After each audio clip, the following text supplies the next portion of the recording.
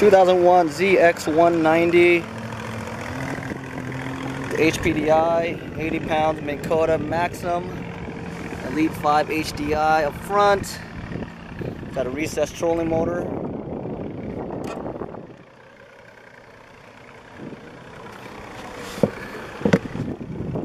Got Elite 5 TI up on the console here. Boat's in excellent condition been in garage its whole life. I bought, I'm the second owner. HPDI motor. All maintenance done.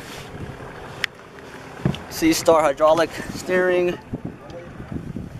Got emergency swim ladder. Slide matter, I mean slide master jack plate. Gel coat's in great shape.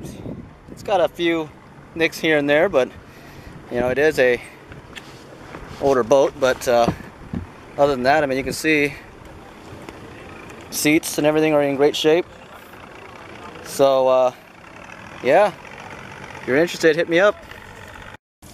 So this is a 23M, and I also have a 25M as well, so you'll get two props on this boat.